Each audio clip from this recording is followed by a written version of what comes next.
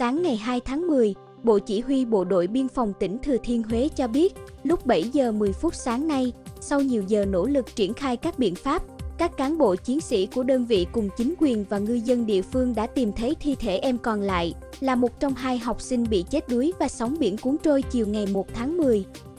Vị trí tìm thấy thi thể cách bờ biển xã Giang Hải, huyện Phú Lộc khoảng 50 mét. Trung tá Hồ Xuân Trình, đồn trưởng đồn biên phòng Vinh Hiền thuộc Bộ Chỉ huy Bộ đội Biên phòng tỉnh Thừa Thiên Huế cho biết, ngay sau khi tiếp nhận thông tin một nhóm học sinh tắm biển tại bãi biển thuộc thôn 3, xã Giang Hải, có hai em chẳng may bị chết đuối. Đơn vị đã phối hợp chính quyền, người dân địa phương khẩn cấp tìm. Thông tin ban đầu, hai nạn nhân nói trên là học sinh lớp 9 tại xã Vinh Mỹ, huyện Phú Lộc, tỉnh Thừa Thiên Huế. Theo Trung tâm Dự báo Khí tượng Thủy văn Quốc gia, ngày và đêm ngày 2 tháng 10, Tây Nguyên và Nam Bộ chiều và đêm có mưa rào và rải rác có dông, cục bộ có mưa vừa, mưa to, trong mưa dông có khả năng xảy ra lốc, xét và gió giật mạnh. Gió Tây Nam cấp 2 đến 3. Nhiệt độ thấp nhất tại Tây Nguyên 20 đến 23 độ C, cao nhất 27 đến 30 độ C, có nơi trên 30 độ C. Nhiệt độ thấp nhất tại Nam Bộ 24 đến 27 độ C, cao nhất 29 đến 32 độ C, có nơi trên 32 độ C. Do ảnh hưởng của mưa lớn cục bộ, khu vực vùng núi có nguy cơ xảy ra lũ quét, sạt lở đất và khả năng gây ra tình trạng ngập úng tại các vùng trũng, thấp. Hiện vùng biển từ Bình Thuận đến Cà Mau, Cà Mau đến Kiên Giang, Vịnh Thái Lan và khu vực Nam Biển Đông, bao gồm vùng biển khu vực Trường Sa, đang có mưa rào, dông mạnh. Dự báo, ngày và đêm ngày 2 tháng 10, khu vực Nam Biển Đông, bao gồm vùng biển khu vực Trường Sa, vùng biển từ Bình Định đến Cà Mau, Cà Mau đến Kiên Giang và Vịnh Thái Lan có mưa rào, dông. Trong mưa dông có khả năng xảy ra lốc xoáy và gió giật mạnh cấp 6 đến 7. Phía Tây Bắc Bộ và Đông Bắc Bộ ngày nắng, chiều tối và đêm có mưa rào, dông vài nơi. Trong mưa dông có khả năng xảy ra lốc, xét và gió giật mạnh. Nhiệt độ thấp nhất tại Tây Bắc Bộ 22 đến 25 độ C, có nơi dưới 22 độ C, cao nhất 31 đến 34 độ C. Nhiệt độ thấp nhất tại Đông Bắc Bộ 23 đến 26 độ C, vùng núi có nơi dưới 23 độ C, cao nhất 31 đến 34 độ C. Hà Nội ngày nắng, đêm có mưa rào và dông vài nơi, gió nhẹ. Nhiệt độ thấp nhất 25 đến 27 độ C, cao nhất 32 đến 34 độ C. Các tỉnh từ Thanh Hóa đến Thừa Thiên Huế ngày nắng, chiều tối và đêm có mưa rào, dông vài nơi, trong mưa dông có khả năng xảy ra lốc, xét và gió giật mạnh. Nhiệt độ thấp nhất 23 đến 26 độ C, cao nhất 30 đến 33 độ C, có nơi trên 33 độ C. Các tỉnh, thành phố từ Đà Nẵng đến Bình Thuận có mưa rào, dông vài nơi.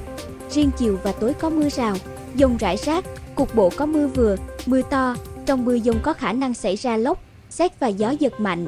Nhiệt độ thấp nhất 24 đến 27 độ C, cao nhất 30 đến 33 độ C, có nơi trên 33 độ C. Sáng ngày 2 tháng 10, Hội nghị lần thứ 8 Ban chấp hành Trung ương Đảng khóa 13 đã khai mạc trọng thể tại thủ đô Hà Nội. Tổng bí thư Nguyễn Phú Trọng chủ trì, phát biểu khai mạc hội nghị. Ủy viên Bộ Chính trị, Chủ tịch nước Võ Văn Thưởng điều hành phiên khai mạc.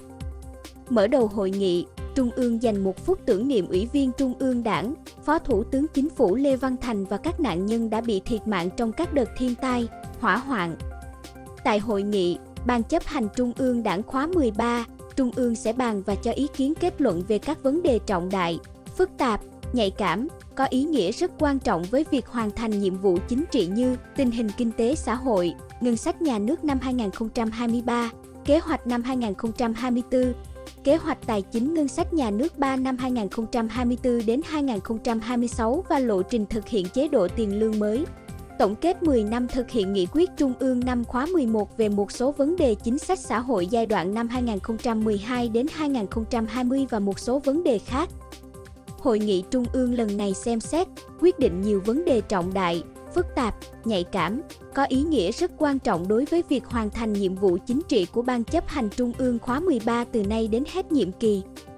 Theo chương trình, hội nghị làm việc đến ngày 8 tháng 10. Sáng ngày 2 tháng 10, triều cường trên sông Hậu tiếp tục dâng cao vượt báo động 3 trong ngày thứ tư liên tiếp. Nước tràn vào hàng chục con đường, hẻm khiến hàng trăm người dân và học sinh tại thành phố Cần Thơ chật vật đi lại trong ngày đầu tuần. Cụ thể, mực nước ghi nhận đạt 2,12 m, vượt báo động 3 là 0,12 m. Đường cách mạng tháng 8, Trần Hưng Đạo, Lý Tự Trọng, Huỳnh Cương thuộc quận Ninh Kiều, thành phố Cần Thơ tiếp tục bị ngập nặng do nằm cập các tuyến sông. Hàng chục nhà dân phải kê vật chắn nước, tấn bao cát trước cửa để nước không tràn vào nhà. Trong khi đó, một số trường học đã dời lịch học đầu tuần từ 6 giờ 45 phút đến 7 giờ 45 phút nhưng do nước rút chậm, nên một số học sinh bị ảnh hưởng khi đến trường. Trong những ngày qua, nhiều người bán buôn tại quận Ninh Kiều đã nghỉ bán vào buổi sáng, chiều tối do triều cường dâng cao. Ủy ban nhân dân thành phố Hồ Chí Minh vừa có báo cáo về việc triển khai thực hiện các dự án nhà ở xã hội trên địa bàn thành phố giai đoạn 2016 đến 2025. Giai đoạn 2016 đến 2020, thành phố đã xây dựng, đưa vào sử dụng 19 dự án nhà ở xã hội, quy mô 14.954 căn hộ. Kết quả đến quý 2 năm 2023, thành phố đã hoàn thành đưa vào sử dụng hai dự án, quy mô 623 căn hộ. Có 6 dự án nhà ở xã hội với quy mô 3.956 căn hộ và một dự án nhà lưu trú công nhân 1.040 căn đang thi công. Thành phố sẽ phấn đấu hoàn thành các thủ tục pháp lý đầu tư xây dựng để đưa vào đầu tư xây dựng khoảng 35.000 căn nhà ở xã hội, tương ứng 2,5 triệu mét vuông sàn theo kế hoạch phát triển nhà ở thành phố. Hiện Ủy ban Nhân dân thành phố Hồ Chí Minh đã báo cáo tổ công tác của Thủ tướng Chính phủ kiến nghị một số nội dung cần tháo gỡ khó khăn, vướng mắc về xây dựng nhà ở xã hội. Trong đó, tập trung các vấn đề như xác định chi phí bồi thường giải phóng mặt bằng, chi phí đầu tư hạ tầng kỹ thuật và các khoản chi phí hợp pháp khác và việc phân bổ các chi phí này vào quỹ đất xây dựng nhà ở xã hội.